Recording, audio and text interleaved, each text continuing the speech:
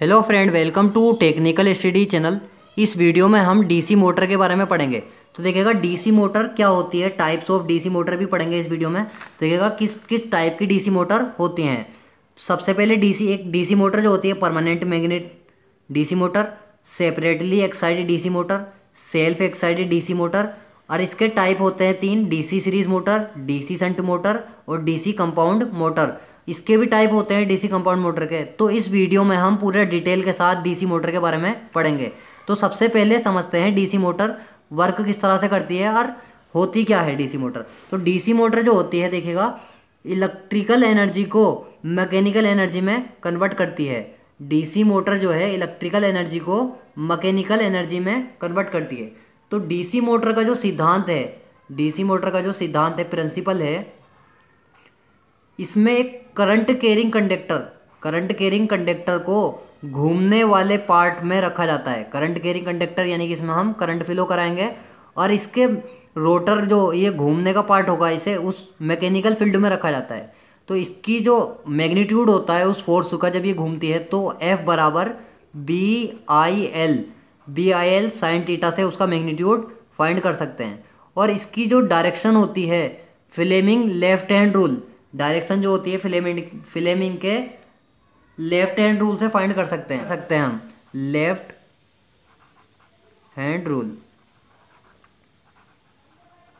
तो इस वीडियो में हम टाइप ऑफ़ मोटर भी पढ़ेंगे, देखिएगा। Permanent magnet type motor. सबसे पहले मोटर के जो टाइप में है, परमानेंट मैग्नेट टाइप मोटर है, डीसी मोटर है।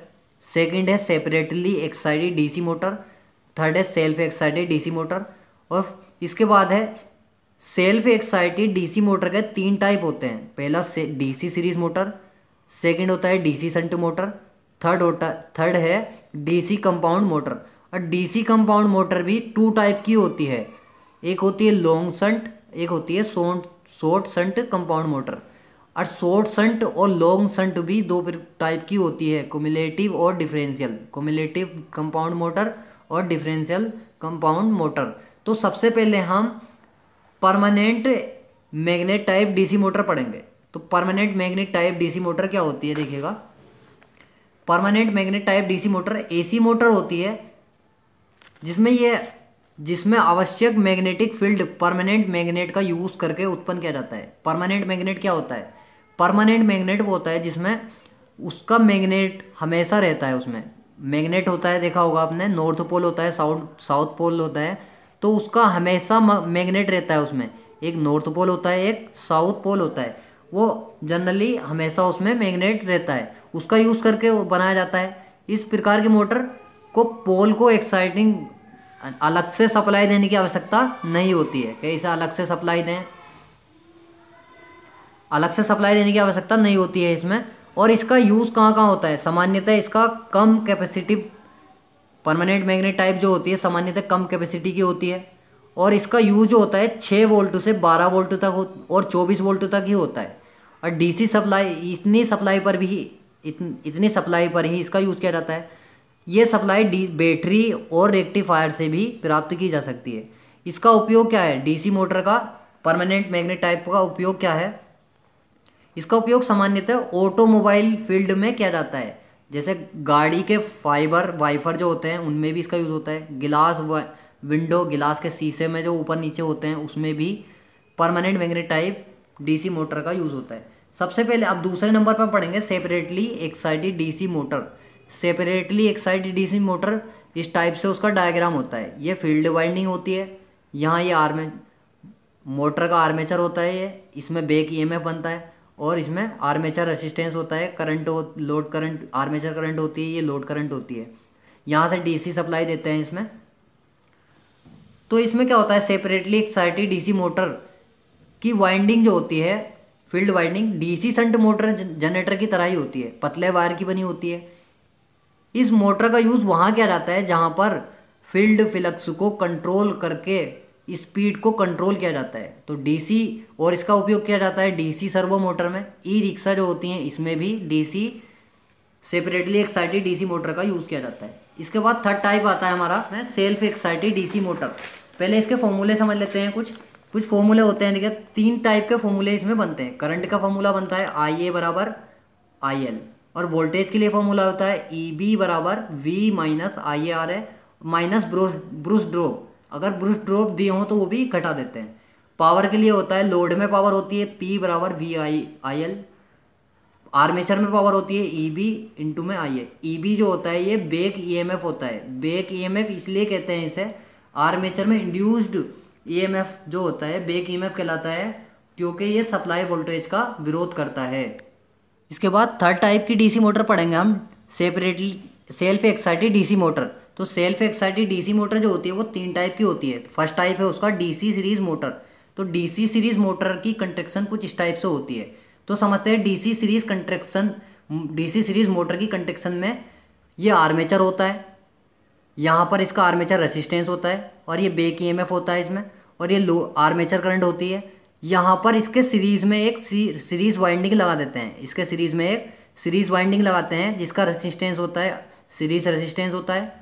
और इसमें सीरीज़ करंट होती है, और इसमें लोड करंट होती है, और यहाँ से डीसी सप्लाई दी जाती है। तो इसमें तीन टाइप के फॉर्मूले इसमें भी बनते हैं, और डीसी सीरीज़ मोटर जो है वेरिएबल स्पीड के लिए चलाई जाती है। वेरिएबल स्पीड के लिए चलाई जाती है, और ये लोड पर डिपेंड नहीं करती है। ये लोड पर डिपेंड नहीं करती है। सॉरी लोड पर डिपेंड नहीं कर डिपेंड करती है। नो लोड स्पीड जो होती है no load speed generally high होती है। इस डेंजरसली हाई होती है। हाई इसका स्टार्टिंग टोर्क जो होता है हाई होता है। और देखिएगा, इसमें तीन टाइप के जो फॉर्मूले बनते हैं आई के और वी के और पावर के तो वो किस टाइप से बनते हैं? करंट के लिए फॉर्मूला क्या होते हैं? आई बराबर आई ए बराबर आई एस सी यहाँ से लोड करंट इसके बराबर होगी, क्योंकि ये तीनों करंट सीरीज़ में है। लोड करंट भी सीरीज़ में है सीरीज़ करंट सीरीज़ में जो रेसिस्टेंस लगा है उसमें जो करंट फ्लो हो रही है, वो भी सीरीज़ में है। और आर्मेचर करंट भी सीरीज़ में है। इसलिए ये तीनों करंट जो होंगी, सीरीज़ में है तो तीनों बराबर होंगी। और वोल्टेज के लिए क्या होगा? वोल्टेज होता है, इसमें बेक ईएमएफ बराबर होता है, क्योंकि बेक ईएमएफ सप्लाई वोल्टेज से अधिक होता है। तो क्या होता है? बेक ईएमएफ बराबर V minus I A R A minus I S C R S C और अगर, और इसमें ब्रुश ड्रॉप दिए हों तो वो भी घटा देते हैं, ब्रुश ड्रॉप भी इसमें से घटा देते हैं।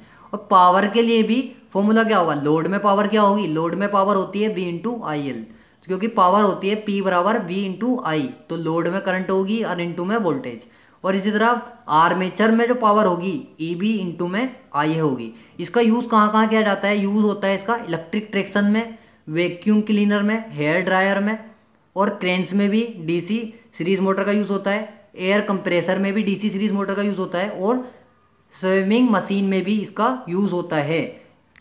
इसके बाद है सेकेंड पार्ट है डीसी संट मोटर का। डीसी संट मोटर है ये सेल्फ एक्साइटिंग डीसी मोटर का सेकेंड पार्ट है डीसी संट मोटर। इसकी कंटेक्शन इस टाइप से होती है। देखेगा इसमें ये आर्मेचर होता है और इसमें आर आर्मेचर रेसिस्टेंस होता है और इसमें बेक ईएमएफ होता है और आर्मेचर करंट होती है। यहाँ पर आर्मेचर करंट होती है ये लोड करंट होती है इधर की ओर। और, और ये संट रसिस्टेंस होता है। देखिएगा संट रसिस्टेंस जो होता है नंबर ऑफ़ टर्न इसमें अधिक होते हैं और इसका रसिस्टेंस जो होता है आर एस एच होता है, यानी कि संट रसिस्टेंस और करंट जो फ्लो होती है इसमें I S C I S H sorry I S H current flow होती है। इसके भी तीन फॉर्मूले होते हैं। करंट का फॉर्मूला वोल्टेज के फॉर्मूले और पावर के फॉर्मूले तो किस टाइप से करंट के फॉर्मूले होंगे? करंट देखेगा किस टाइप से होगी। जब यहाँ से लोड करंट गई तो यहाँ से जंक्शन आया तो करंट टू पार्ट में डिवाइड हो जाएगी। एक इस पार्ट में हो जाएगी और एक आगे चली जाएगी, जो कि यहाँ पर संट में चली जाएगी। तो क्या होगा? आई एल बराबर होगा I A plus I S H क्योंकि करंट जो है पेलल में लगा हुआ है रसिस्ट संट रसिस्टेंस इसलिए करंट टू पार्ट में डिवाइड हो जाएगी आई ए और आई एस एच में।